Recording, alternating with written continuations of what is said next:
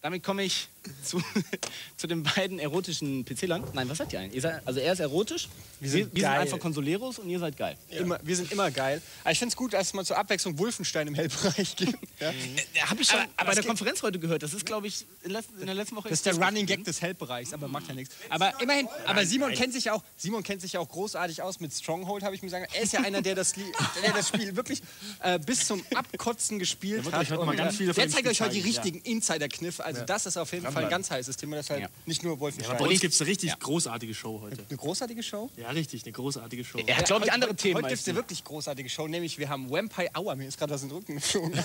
Der Auerschrei kam erst 10 Sekunden. Irgendwie, naja, soweit ist es schon. Also wir haben äh, Vampire Slayer Mod für Half-Life. Da werden wir heute reinspielen, morgen dann richtig so. loslegen. Wollte gerade sagen, das habe ich mir schon, aber Wir haben, heute, noch wir haben heute Mittag schon ein bisschen gesehen. Du hast gesehen, was wir beide schon für Spaß hatten. Das Also heute Vorstellung, morgen vielleicht mit der Community. Eine tolle dann, ne? Mod. Würde sich lohnen. Ja. Also es Ja. sah sehr, sehr lustig aus, auch wenn äh, jetzt Half-Life nicht unbedingt mein Genre ist, aber generell. Aber was auf jeden Fall auch, auch für dich ist, ist äh, Medal of Honor. Und Ja. da haben wir die Singleplayer-Demo haben wir äh, letzte Woche schon vorgestellt und die werde ich heute versuchen durchzuzocken, was nicht so einfach ist. Mhm, aber bei den perfekten Skills, die der Running Gag des PC-Bereichs hat. Running Gag des PC-Bereichs? Ja, Skills? Skills. Ach so, Naja, ah, ja. Lassen wir das. Äh, Eddie denkt noch ein bisschen drüber nach und überzeugt uns nachher mit seinem Können. Hannes, weißt du, was ich mich frage, wenn ich so unseren Kameramann Thomas ansehe? Ich frage mich, ob er die Hose vielleicht auch bis zum Kinn ziehen könnte. Nee, glaube ich nicht. Der ist einfach der Brustkorb zu muskulös Also, dafür. mein Bauchnabel ist jetzt hier, ja? Genau, dein Bauchnabel. Und, und die Hose hier. Ja? und, bei, und bei Thomas ist der Bauchnabel auch hier und die, Ho und die Hose ist hier. so Steve Urkel-mäßig. Ja, nur der hat einfach mehr Stil als irgendwie. Ih, lass das Hemd rein! Ah! Der hat ja echt so einen krassen Riesenbauchnabel da oben. Alter Schwede. Das ist ja, Ey, noch ein bisschen höher. Ey. Wo du, wenn man denn da hier, Wasser reinmacht, hast du ja einen Swimmingpool für Kinder, ey. Ja. Das ist ja witzig. Wir haben großartige Themen heute, eine großartige Show. Ähm, auf unserer Seite geht's los mit großartigen Themen, zum Beispiel dem WWCL Finals. Da war ich ja am Wochenende mit Pepper, Wrestling. Georg und Salik. Wrestling, Äh, ne? Das ist die WWF, Hannes. Die WWCL ist die Worldwide Championship of LAN Gaming. Ich weiß nicht, warum es Worldwide heißt, weil es waren nur deutsche Leute da und es waren auch nur deutsche Teilnehmer. Aber egal, klingt gut, Worldwide äh, Championships of LAN Gaming. Könnt ihr euch durchlesen, wenn ihr wissen wollt, wer gewonnen hat. Irgendwie funktioniert die dumme Maus nicht. So, sonst hätte- würde ich das auch mal anklicken, aber... Hallo? Was ist mit der Maus los hier? Naja, Jetzt geht's. man muss ja auch nicht immer alles vorkauen. Ne? Ihr könnt es euch mal selber durchlesen. So, da seht ihr die ganzen Ergebnisse von jedem Turnier. Brood War, äh, Age of Kings, Need for Speed, Grand Prix 3, Serious Sam 1 und 1 Turnier gab's. Und ähm, Wirklich von jedem Turnier? Auch vom Ja. äh, Beben 3? ja, Beben 3, da gab es sogar für den äh, ersten einen Smart zu gewinnen. Echt? Ja, Im Beben 3 Design oder was dann so? Nein, im Smart Design. So. So, wir haben auch noch großartige Themen äh, weiterhin, nämlich äh, Team Fortress 2. Neue Infos, willst du was dazu sagen? Ja, also Team Fortress 2 habe ich mir gedacht, wir machen einfach mal so, ein, so, eine, so eine Exhumierung äh, des Spiels. Ne? Es ist ja leider verloren gegangen, man glaubt es kaum, aber mit dem ganzen Counter-Strike-Hype und so. Ich habe da mal ein paar Infos zusammengefasst, ob es überhaupt noch kommt, wann es kommt und wie es kommt. Kommt's? Sage ich nicht. Okay. Ähm, dann haben wir auch noch weiterhin gute News, nämlich hier unten Half-Life-Mod Vampire Slayer 3 angeflockt. Angeplockt. Fantastisch. Hannes, das ist ein großartiger Gag. Und ähm, das werden wir gleich zocken. Das ist nämlich ein richtig lustiger Mod. Und äh, wenn alles gut geht, haben wir morgen Server. Und ihr zockt mit uns. Und ab morgen gibt es das auch bei uns zum Saugen. Ne? Zum Saugen. Zum, hey, zum, das, zum Saugen. Und jetzt kommen wir aber zu dem Thema, was wir schon am Freitag angezockt haben. Übrigens hier nochmal Unreal Tournament 2 im Preview. Ein fantastisches Preview vom Hannes, der ja in Kanada war und sich das Ganze äh, angesehen hat. Solltet ihr euch durchlesen, falls ihr es noch nicht gelesen habt. Und hier unten könnt ihr euch dann die Medal of Honor deutsche Demo, die Singleplayer runterladen, 175 Megabyte. Und in genau die schauen wir jetzt auch mal rein. Wir können sie noch mal erwähnen. Wir würden hier an dieser Stelle bestimmt auch gerne mal äh, die Vollversion zeigen. Sie ist leider halt äh, etwas verboten. Wir hoffen noch auf die äh, deutsche.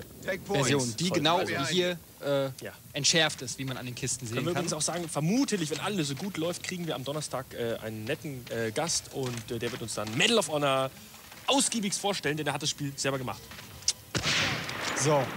Jetzt, äh, Hannes, du kommentierst, ich muss mich darauf konzentrieren, damit ich nicht. Äh, Okay, also es raucht äh, und es raucht und es schießt und äh, ich versuche es ein bisschen besser zu kommentieren. Wir sind irgendwo in den Hecken zwischen der Küste der Normandie und dem Inland der Normandie, also irgendwo kurz hinter der Küste. Okay, ich starte nochmal neu. Und äh, Etienne startet nochmal neu. Nein, unsere Aufgabe ist jetzt, äh, The Nebelwerfer Hand zu initialisieren. Das ist die Jagd nach den Nebelwerfer-Raketenbatterien. Weißt du, was das ist? Äh, Nebel, Nebelwerfer, so die Ja, Dinger, die, wir auch hier im Studio ja, ja, haben. Nee, die heißen merkwürdigerweise Nebelwerfer. Das sind aber ganz krasse äh, Stalin-Orgelmäßige Raketendinger, V3 und so, ne? Ah, so. Irgendwie.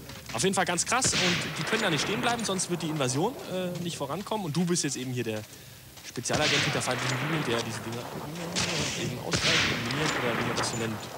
Soll. Genau. Und ich habe eben den Panzerschreck eingenommen und den werden wir gleich mal benutzen für den ersten auf uns zurollenden Panzer. Ist übrigens ungefähr die Mitte des Spiels, kann man sagen. Im vollen Spiel. Und ich habe die Demo äh, durchgezockt und kann nur sagen, das wird richtig beinhart. Also am Freitag haben wir das, was wir jetzt sehen, auch schon gezeigt, aber es wird wirklich noch einiges Wesentlich härter. härter. Ja, ja, es gibt da noch einen netten, äh, was heißt netten, so kann man es ja nicht nennen, einen äh, krassen So. äh, Häuserkampf, der wirklich vermutlich besser auf dem PC zurzeit nicht geht. Ja. Also ich muss auch sagen, äh, für mich, zumindest was Singleplayer angeht, der klare Gewinner im Kampf Wolfenstein, äh, gegen Wolfenstein. Also das muss man schon Ja, sagen. ich habe ein paar Testberichte schon gelesen von dem Magazin und ich kann es nicht verstehen. Also so Wertungen mit 86 Prozent ist für das Spiel echt zu wenig. Tut mir leid. Ich werde es dann auch in meinem Test nochmal. Also ich finde auch, das ist äh, mit einer der besten Ego-Shooter, die ich gespielt habe, seit Nolf. Zumindest was den Singleplayer angeht. Also Wolfenstein im Multiplayer ist wirklich einmalig, aber äh, Wolfenstein im Singleplayer ist äh, nett, aber nicht einmalig so wie das hier. Ja.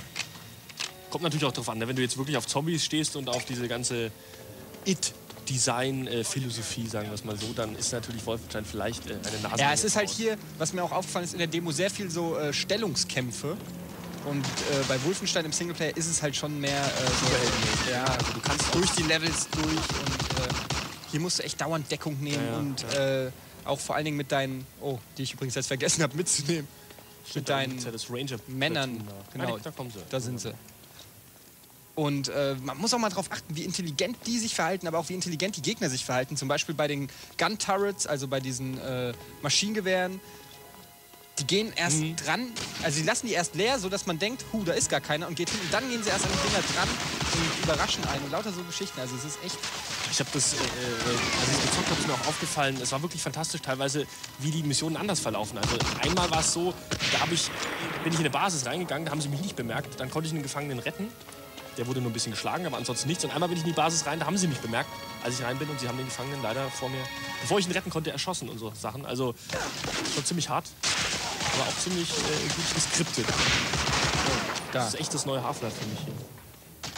Obwohl man es eigentlich überhaupt nicht vergleichen kann. Nein, einfach nur rein, rein von der Spannung her und von den äh, vielen Skripts und den vielen äh, tollen Ereignissen. die da sind. Man muss natürlich auf so eine Problematik und so eine Spielthematik spielen. Also wenn man nicht auf Falsche Zweiter Weltkrieg äh, aus ist, wenn man sowas spielt, dann kann man natürlich nicht anfangen. Also ich muss sagen, es ist auch irgendwo fragwürdig. Das sage ich, ich will, ich will hier nicht den moralischen Zeigefinger jetzt erheben, weil ich zock halt auch so Spiele gern, aber es ist teilweise so realistisch und äh, also gerade auch, ich meine, die Werbung, die die teilweise mit für das Spiel Ja, gemacht ja. haben, hast du ja auch gesehen, irgendwie da ähm, bei der Strandung äh, an der Normandie und äh, ich weiß nicht, wie war der Slogan? Ja, irgendwie, äh, weiß ich nicht, äh, mit 75-prozentiger Wahrscheinlichkeit wird das das letzte sehen, was sie, äh, sein, was sie sehen werden. Finde ich schon teilweise geschmackslos. Aber Muss ich, sage ich ganz ehrlich, also, Hm. oder? Ja, es geht so. Aber äh, es ist auf jeden Fall heftig, aber es ist auch ab 18 wahrscheinlich und äh, für Erwachsene ist das okay und macht auf jeden Fall Spaß. Wir zocken gleich ein bisschen weiter. Singleplayer-Demo von Medal of Honor Allied Assault.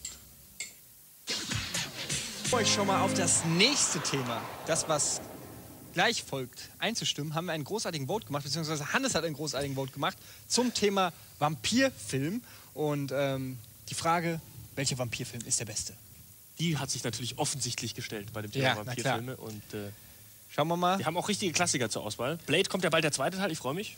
Auf jeden Fall. Einer äh, meiner auf jeden Fall Highlights oder Vampir-Highlights. Dracula gibt es natürlich jetzt nicht den Film, da gibt es ja 5000 verschiedene Versionen, aber halt. Da zählt alles von Bram Stokers bis zu den alten bis zu diesen Christopher, Lee-Dingern genau, und die äh, Geschichten halt. Nosferatu-Schinken. Dann haben wir hier noch äh, From Dusk Till Dawn. Auf jeden Fall meiner Meinung nach die Nummer 1 der Vampirfilme. Auch wenn es nicht so ein richtiger Vampir... Also, naja, es Ah, ist, es ist so. ja eine Road-Movie, Mix, Monster, Splatter. Dann der Horror. Versuch, das Ganze zu toppen von Carpenter. Ah, nee, der war scheiße. Ein bisschen objektiver bitte an den Vote Ja, okay. rangehen. ich meine, er war scheiße, aber muss man Der, nicht gleich der, sagen. eh, eh war richtig gut. Rüdiger, der kleine, Vampir. ne? Hast du auch mal die Bücher gelesen hinten von Rororo mit den Comics drauf? Nee, ich habe eigentlich eher unseren Chef hier gemeint, der Rüdiger. Weißt du, der, hat, der sieht doch so äh, bleich der ist auch so ein Blutsauger, ne? unser Blut Ja. und so. Deswegen, Rüdiger, der kleine Ich weiß. Gucken wir mal, wie es bis jetzt aussieht. From Dust Till Dawn knapp mit Dracula. Dracula, sicher Dracula. Hätte ich nicht Leute, gedacht. Kann doch nicht sein. Naja, die alten Klassiker. Ja, aber jetzt spielen wir weiter Medal of Honor Singleplayer Demo und äh, live und Wir sind jetzt mittlerweile irgendwo in, wie heißt das Kaff? äh, Wissen wir nicht, ne? Nee. Französisches Kaff. Absolut zerbombt. Und Ja, hier halt- sehen, ich führe jetzt mal ganz kurz was vor. Ich mache jetzt mal so ein kleines äh, Selbstmord genau, so äh, Kommando. Genau, wie man es nicht mal einfach mal zu demonstrieren. Wie, one. so sieht's aus, als ob hier niemand wäre, ja? Hm, schön, leeres Städtchen, kann man ja einfach mal hingehen. Macht gar nichts. Move up there! Und dann Over there! fest, da wird schon irgendwie geschossen. Ich weiß nicht direkt wann und dann auf einmal hier, kommen sie überall. Da tauchen sie auf einmal alle auf. Und dann geht's hier. Da stehen sie, da ist ein MG-Turret. Man merkt auch, dass die irgendwie also viel intelligenter werden. So. Aber zum Teil ist es so, am Anfang von einem Level äh, laufen sie dir noch entgegen und später haben sie dann irgendwelche Ambushes und Hinterhalte gelegt und solche Ja. Sachen. Also das Leveldesign ist echt. So, also das war jetzt nur als äh, Beispiel, wie man es nicht machen soll. Jetzt versuche ich das Ganze mal taktisch etwas schlauer zu Lauf doch machen. mal von Haus zu Haus und schau erst mal, ob die im Haus äh, drin Das sind. mache ich jetzt auch einfach. falsche Waffe dafür hier. Was hast du für eine schwere Waffe? Den Panzerschreck, ne? Äh, ja. Also du spielst jetzt natürlich nicht so ein, äh, wir sammeln 5000 Waffen ein und tragen die auch alle mit uns rum Spiel, sondern eher ein realistisches. Man hat halt seine fünf Waffen und mehr auch nicht. Genau. So, ich kann mich eigentlich auch mal wieder aufrichtig Und da hinstellen. es diese fünf Waffen eben auf beiden Seiten gibt, kommen wir dann auch auf eine stattliche Anzahl von äh, Waffen. Wo sind der sechs? Sechs pro Seite, also insgesamt zwölf. Nehme ich mal Nee, Sniper Rifle. sind sieben. Sieben Entschuldigung. Wische ich den? Nee. Da könnte ich eigentlich auch mal versuchen, mit einer Granate ein bisschen Schaden zu machen. Das Coole ist auch wirklich, dass die Leute die auch ernst nehmen, die Granaten. Das heißt, da fliegt eine Granate hin, dann rennen die auch Und dann rennen die alle raus und man kann, kann dann wirklich beim Rausrennen noch mal einige. Also die haben wirklich einen Überlebensinstinkt teilweise. Nicht so ein, oh, das will ich mit der Granate. Ja, also ich bin echt erstaunt von der künstlichen Intelligenz der Computergegner. Das ist wirklich mit das Beste, was ich je in einem Computerspiel oder in einem Ego-Shooter also auf gesehen jeden Fall habe. on par mit den Marines aus Half-Life. Die dann auch Granaten selber werfen Mhm. und einen einkesseln. und, äh, Von hier oben kann man eigentlich ganz schön snipern. Aber man sieht es genau, der versteckt sich genau hinterm Auto. Es ist nicht leicht, die Typen einfach Ja. so zu zielen. Also, Ja, die sind auch Ecken. Also hast du es mal, ist dir aufgefallen? Die nutzen wirklich, Ja, ja. wenn da eine Ecke ist, dann kommt auch wirklich nur der Gewehrlauf äh, hinter der Ecke vor. und nicht sind auch ständig, die. Jungs sind auch ständig in Bewegung und äh, das ja. macht es natürlich schwer. Also zum Beispiel, wenn man einfach nur mal stehen bleibt in dem Spiel, dann merkt man, dass um einen rum ständig irgendwas passiert. Leute äh, wechseln ihre Plätze und äh, Ja, wenn du mit einer Squad unterwegs bist, äh, kann auch sein, dass der Typ dann äh, hinläuft und irgendwelche Leute heilt und selber einen Heiltrank trinkt, also halt Medizinfläschchen und so weiter und so weiter. Alles sehr nett. Und was dann auch lustig ist, dass die verschiedene Kampfweisen haben. Das heißt, wenn sie ganz nah an dir ran sind, versuchen sie dich immer mit ihrem Gewehr aufzuspießen und dich zu hauen. Äh, auf mittlere Entfernung werfen sie immer eine Granate entgegen und auf weite Entfernung fangen sie das Schießen an. so, da sehen wir jetzt, da hinten hat sich einer verschanzt, auch mal nochmal an so einem Gun-Turret. Aber den Ja, habe ich sind echt immer erwischt. schwer zu knacken. Es geht, also es kommt aber, es gibt schlimmere äh, Stellen. Zum Beispiel Ja, Äh, in die- Nachtmissionen, wenn ich dann so Ja. ein Turret mit so einem Scheinwerfer äh, aufs äh, Korn nehme. Thompson kennt man ja auch aus Wolfenstein. Obwohl sie hier wesentlich realistischer aussieht. Ja, und so also was zum Beispiel mir auch sofort aufgefallen ist, äh, das sind einfach die Soundeffekte bei Medal of Honor. Selten ein Spiel gesehen, was äh, allein durch äh, also Audi, äh, Audio, äh, Ja. Ich habe gehört, die haben da selber im Labor wirklich alles äh, gemacht. Ne? Die haben da Schnee hingeschaufelt Mäßig. und haben dann Schneegeräusche aufgenommen und Waldgeräusche und Wolfsheulen und selber Waffen abgefeuert, alles selber aufgenommen. Wenn man sich das jetzt mal hier anguckt und mir würde einer, mich würde einer fragen, welche Engine ist das, ich würde als letztes, glaube ich, die Quake 3 Team Arena Engine nennen. Man Also merkt diese teilweise, die Comic- Level sind schon extrem groß. Ich muss auch leider sagen, dass das Spiel verdammt anspruchsvoll ist, was Hardware angeht. Also schon mindestens 30% anspruchsvoller. Das wiederum wundert mich, weil äh, Q3 läuft ja eigentlich, äh, also bei mir zu Hause zumindest noch recht gut auf meinem P2 Mhm. 400 mit äh, 128 MB RAM und einer GeForce 2 MX, aber das Spiel hier, no way. Ja, die haben auch teilweise Techniken eingebaut, die es Oh, einfach bei falsche Q3 so nicht gibt. Also die Animationstechniken sind teilweise echt Unreal 2 Niveau, dass sich die Animationen mixen und so. Wenn jemand eine Zigarette raucht und dich dann grüßt und. Das ist halt nun mal Hardware-intensiv. So, da drin ist nämlich jetzt auch wieder so ein Gun-Turret. Hier Du links. wolltest die doch durchspielen, die Demo. Du schaffst du doch jetzt wieder Ja, nicht, oder? doch, du musst doch noch zur Kirche. Ziel ist ja immer noch diese The Nebelwerfer, äh, Raketenwerfer auszuschalten. Das war meine Granate. Hat mich auf, trotz, der, auf dem Corner kannst du nichts mehr machen, ne? da bist du fast weg. Ja. Das, die hauen unheimlich rein. Ja, ich mache mich jetzt mal auf den Weg zur Kirche. Aber nee, ich will erst noch mal die Szene mit dem Panzer jetzt zeigen. Ich kann sie wieder nicht durchzocken, die Demo. Macht nichts, weil wir gleich Vampire Slayer zocken. Aber ihr könnt sie durchzocken. Gibt es ja bei uns im Download-Bereich äh, zum Runterladen. Und jetzt sehen wir es.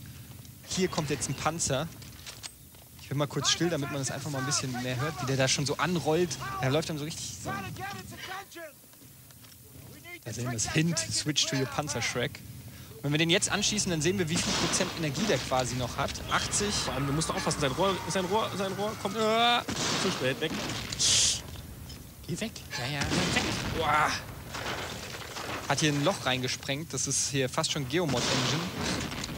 40 Ja, es Prozent gibt ein Level, wo du dann im Panzer fährst und wirklich fast alles kaputt schießen kannst. Oh, oh. Also, Und wenn man den jetzt äh, zersprengt hat, sage ich mal, Oder auch dabei äh, bei dem Versuch. Äh, dann äh, sehen wir, dass die Leute dann oben rausklettern. Und äh, nein, das sehen wir nicht. Hab ich doch gewusst. Hat's mich erwischt, ne? Aha. Haben wir noch mal Zeit? kurz, mal hier. Oh, die. Statistik. Nee, haben keine Zeit mehr. Egal, an der Stelle brechen wir dann die Demo einfach ab. Ihr saugt euch die Demo, da geht es noch ein ganzes Stück weiter. Also die ist auch Ja. wirklich umfangreich und Kann man komplex, eine meckern. Demo. Ist zwar 175 Megabyte groß, aber hey, dafür gibt es eine nette Demo. Und äh, jetzt machen wir gleich weiter mit Vampire Slayer, eine tolle Mod für Half-Life.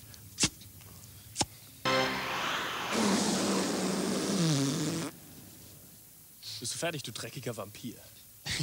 Ich gerade wollte ich anfangen, dass ich ihm jetzt selbstgeschnitzten Flock in den nächsten zwei Minuten ins Herz rammen werde. Und zwar bei Vampire Slayer Beta 3. Aber nein, das Knoblauch unterm Tisch hatte ich ein bisschen fertig gemacht. Ne? Boah. Die Augen richtig rot unterlaufen. Ich, ich, ich mutiere hier schon langsam zum Vampir. Die Beta ist, äh, glaube ich, ein paar Tage alt. Sie ist uns leider damals entwischt. Jetzt haben wir sie äh, haben wir es nachgeholt, äh, angezockt. Version 3 von Vampire Slayer, ein Half-Life-Mod. Und wir haben vorhin geguckt, bei GameSpy äh, haben wir uns mal angeguckt, wie Ja. die Server so verteilt sind, welche Spiele zurzeit am meisten gespielt werden. Es war nicht hundertprozentig repräsentativ, aber immerhin. Und äh, Vampire Slayer ist, glaube ich, das dritte oder vierte Spiel, also der viertbeliebteste Half-Life-Mod derzeit. Echt? Mhm. Cool. Gibt, glaube ich, mehr Vampire Slayer-Server als Operation Flashpoint-Server. Oder AVP2 haben wir gespielt. Oder AVP2, ja. Voll ab- AVP2 ist ein gutes Stichwort. Das Spiel ist sehr ähnlich. Schauen wir mal, wie es aussieht. Ja, der Etienne ist schon auf dem Server. Ich komme gleich rein. So sieht das Hauptmenü aus. Und äh, wir suchen mal, haben wir, finden wir sein Spiel, finden wir bestimmt.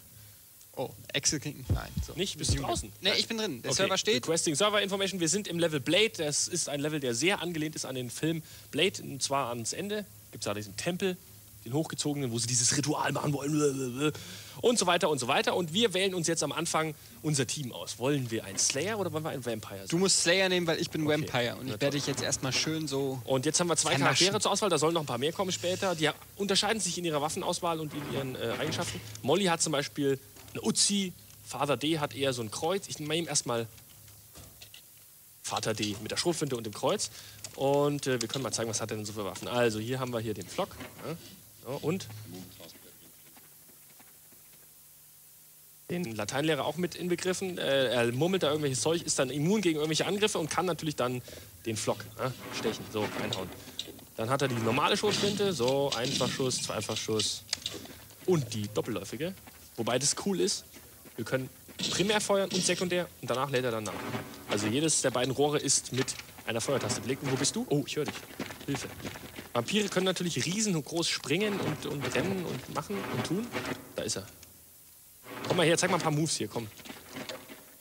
Jeder Vampir hat auch eine Spezialfähigkeit. Was ist deine jetzt? Kannst du dich unsichtbar Ähm, machen? ich oder? kann quasi äh, mein Nachtsichtgerät einschalten. Sie dann, jetzt machst du dich immun gegen meine Angriffe, Genau. aber das würde ich nicht nutzen. Und äh, wenn die Regie mal ganz kurz meinen Bildschirm zeigt, dann zeige ich mal ganz kurz ein paar Vampir-Moves. Zum Beispiel gibt es da nämlich eine sehr ähnliche Attacke, die es auch bei Alien vs. Predator gibt, die der Alien kann, die Leap Attack. Die geht so. Oh, wow, ja. da springst du aber ordentlich. Die funktioniert wie ein normaler Duck Jump bei Counter-Strike, also erst ducken und dann springen. Und er kann halt normal springen, dann hat er halt verschiedene Angriffe. Wobei die immer den gleichen Schaden machen. Ich glaube, mit einem Schlag und du bist weg. Ne? Ja, ungefähr. Also Und halt eben noch die Wärmesicht. Der andere Vampir hat eine andere Special-Funktion. Also jeder Vampir hat eine äh, Special-Funktion. Derzeit gibt es zwei verschiedene Vampire. Nee, drei Der- gibt's. Drei. Zwei. Zwei männliche und einen weiblichen. Ja. Achso, okay. Den, den weiblichen habe ich noch nicht gesehen. Also der andere männliche Vampir, der kann jedenfalls noch äh, Unsichtbar werden. unsichtbar werden. Also mehr oder weniger. Im Dunkeln fällt es dann auf. Die Frau ich kann würde sagen, übrigens coolerweise im Sonnenlicht laufen. Vampire dürfen nicht in Sonnenlicht, sonst verbrennen sie. Das ist auch eine coole Funktion von dem Mod. Ja, wollen wir mal irgendwie langsam so... komm doch.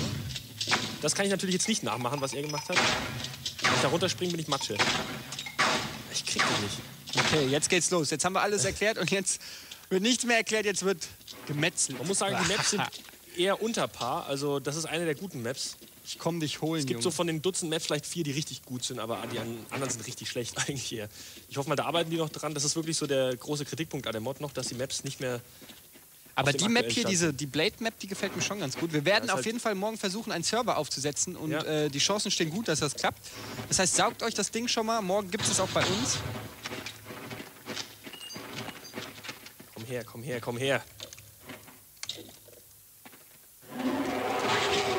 So, jetzt geht's hier. Haha, ich bin immun. Oh, ich glaube nicht mehr, oder? Jetzt nicht mehr. so, was ganz wichtig ist, äh, wenn er mich jetzt gefragt hätte, wäre ich nämlich nach ein paar Sekunden wieder auferstanden, dann hätte er mir erstmal den Flock ins Herz rammen müssen. Und was du hättest auch machen können, du hättest mein Blut trinken können.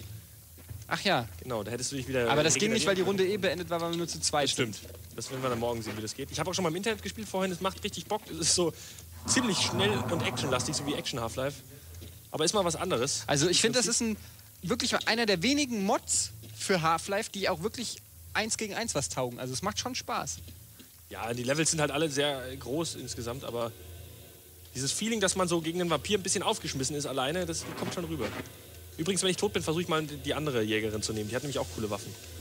Ich könnte mich eigentlich auch mal töten. Warte mal, lass mich mal tot machen hier so. Nein, das nicht. Nein, das jetzt habe ich noch zwei. Super.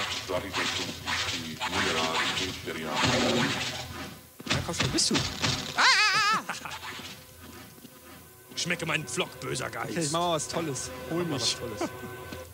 Wo bist du denn? Ey! Ja, super. Ups, nein, ich bin rausgefallen. Lass mich mit. Komm her hier. Du bist echt ein Loser. Vielleicht kriegst du mein Kreuz den Rücken hier. Komm. Ja. So, noch einmal kurz vielleicht. Jetzt habe ich die Molly gewählt. Was hat die für Waffen? Eine Armbrust. Schukduk. Wo bist du? Bist du hier irgendwo in der Nähe? Nee. Ich Dann hat sie bin, noch äh, eine nette Ahnung, Uzi bin. mit ziemlich viel Rückstoß. Und was hat sie noch? Noch irgendwas. Ach genau, ein Flock und eine Knarre. Genau, werden wir morgen alles noch sehen. Äh, was spielst du morgen wieder, Vampir, du Loser? Mal schauen, ich glaube schon. Und ihr zockt mit morgen Vampire Slayer Mod bei Giga Games.